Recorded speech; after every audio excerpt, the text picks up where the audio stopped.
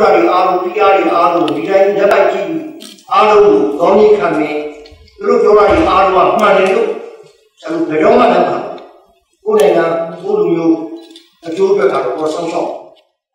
လက်ရှိရခိုင်ပြည်နယ်ခြေနေတွေရခိုင်ပြည်ကနေရစွန့်ခွာသွားသူတွေပြန်လည်စစ်စစ်လက်ခံရေးတွေနဲ့ပတ်သက်ပြီးမက်လ14ရက်ကပြန်ကြားရေးဝန်ကြီးဌာနမှသတင်းစာရှင်းလင်းပွဲပြုလုပ်ခဲ့ပါတယ်။ဒီပွဲမှာတော့ပြန်ကြားရေးဒုဝန်ကြီးဦးအောင်လာထွန်း နိုင်ငံခြားရေးဝန်ကြီးဌာနအမြဲတမ်းအတွင်းဝန်ဦးမြင့်သူ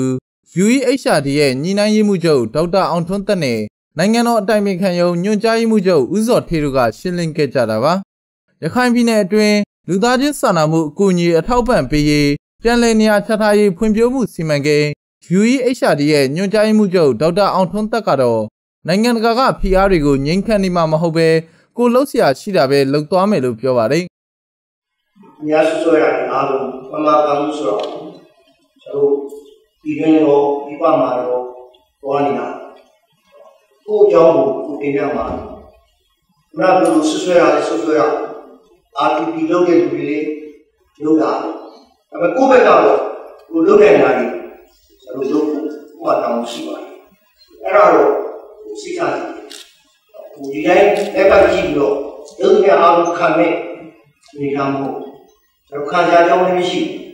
ခံနေဘူးလည်းမဟုတ်ဒါကြောင့်မို့ဒါလေးတော့သိထားစီသူတို့တို့တွေအားလုံးတရားတွေအားလုံးဒီတိုင်းလက်ပတ်ကြည့်ပြီးအားလုံးကိုကောင်းကြီးခံနေသူတို့ပြောတာတွေအားလုံးကမှန်တယ်လို့ကျွန်တော်ဘယ်တော့မှလက်မကိုယ်နိုင်ငံကိုလူမျိုးအကျိုးအတွက်ကတော့ပေါ်ဆောင်ရှောက်ဒီရှင်းလင်းပွဲမှာမြန်မာအစိုးရက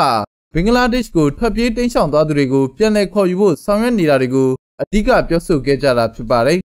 ပြန်ကြားရေးဒုဝန်ကြီးဦးအောင်လာထွန်းကတော့ပြန်လည်ခေါ်ယူရေးကိစ္စအပေါ်မှာနှစ်နိုင်ငံအခြေအနေတွေနဲ့ပတ်သက်ပြီးအခုလိုပြောခဲ့ပါတယ်။ Our government made all out efforts to make every necessary preparation in time. Preparations became ready in time. Never ကျွန်တော်တို့ဆိုရအနေနဲ့ကိုယ့်ရဲ့ဂတိတွေကိုဖြည့်ဆည်းပေးဖို့အတွက်ပြင်ဆင်မှုတွေအချိန်မီပြီးစီးဖို့ကြိုးစားခဲ့ပါတယ်။ပြင်ဆင်မှုတွေလည်းအချိန်မီပြီးစီးခဲ့ပါတယ်။နှစ်နိုင်ငံချစ်ကြည်ရေးအတွက် မွတ်စလင်ဘာသာဝင်900နဲ့ဟိန္ဒူဘာသာဝင်900လူ1900ကျော်စီးရင်ကိုစီစစ်ပြီးကျွန်တော်တို့ဘင်္ဂလားဒေ့ရှ်အစိုးရစီပို့ခဲ့ပါတယ်။ဖေဖော်ဝါရီလလယ်မှာတော့ဘင်္ဂလားဒေ့ရှ်အစိုးရကပုံစံ8000ကျော်ကိုပြန်လည်ပေးပို့လာပါတယ်။ဒါပေမဲ့သူတို့ပြန်ပို့တဲ့အထက်မှာအရေးကြီးတဲ့အချက်လက်တွေနဲ့လက်ပွေစစ်ဆေးဖို့လိုအပ်ချက်တွေဘာမှမပါလာခဲ့ပါဘူး။ဥပမာပြောရရင်တော့အိမ်တော်ဦးစီးရဲ့လက်ပွေတွေကိုဘောကထင်ရှားတဲ့အမှတ်သားတွေနဲ့ရှင်းလင်းပြတ်သားတဲ့ဓာတ်ပုံတွေပါမလာခဲ့ပါဘူး ကျွန်တော်တို့အန်အောတုံလုံးခဲ့တာတခုကမက်လာ9ရက်နေ့တုန်းကဘင်္ဂလားဒေ့ရှ်အစိုးရဝန်ကြီးတယောက်ကပြည်လဲခေါ်ယူရေးနဲ့ပတ်သက်ပြီးကျွန်တော်တို့လှုပ်ဆောင်နေရတဲ့အပေါ်အစိုးမြင်တဲ့ဘက်ကနေတုံ့သက်ဝေဖန်ပြီးနိုင်ငံတကာမီဒီယာတွေကိုပြောခဲ့တာပါပဲ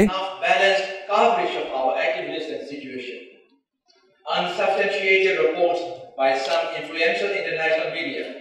have caused a lot of serious misunderstanding of our country among the international community. 2019ခုနှစ်နိုဝင်ဘာမှာရေးထုတ်ခဲ့တဲ့ဖက်ပြေးတိမ်းရှောင်သွားသူတွေပြန်လည်ခေါ်ယူရေးကိစ္စ